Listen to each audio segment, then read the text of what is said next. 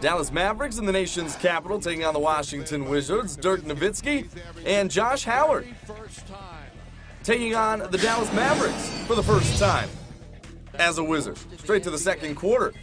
Mike Bibby finds Rashard Lewis top of the key three. He was three for three from downtown, putting the Wizards up by two. And Jason Kidd up top to Tyson Chandler. Kidd, one of his 14 assists.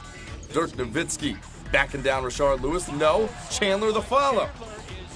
Dallas takes an 11 point lead at that point. Time winding down at the end of the first half. John Wall throws up the prayer and gets it to go off glass. Dallas, a 10 point lead heading into the locker room.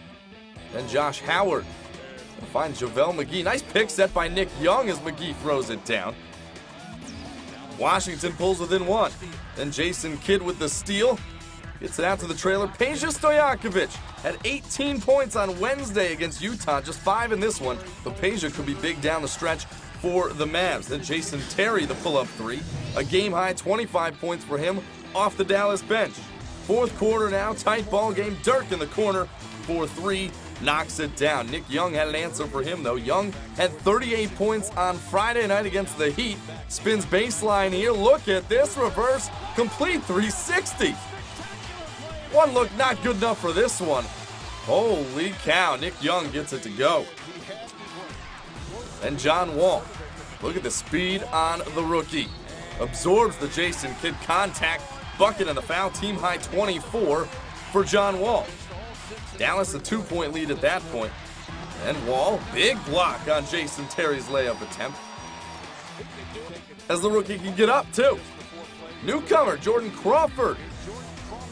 Fresh on his way from the Atlanta Hawks. So 10 points in 16 minutes did the rookie. Tie ball game at 97. Jason Terry, the jumper, no good. Tyson Chandler again in the right spot. 23 points, 13 rebounds for Chandler. Puts Dallas up two. Then the turnover from Wall right there. Four of them on the day, right around his average on the season. And Dirk Nowitzki, oh no, Rashard Lewis fouls him from beyond the arc. Nowitzki would make two or three. He had 21.